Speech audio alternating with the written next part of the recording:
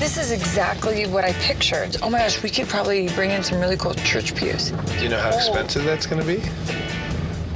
Yeah, but I mean, this is like once in a lifetime thing. Right, Like, you said that about our room last night. That's not once in a lifetime because we're coming back here.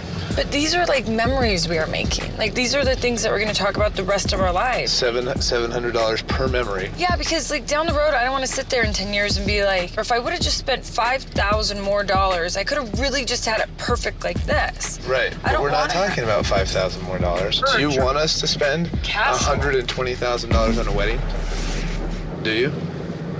We're not trying to impress people with the wedding. Right?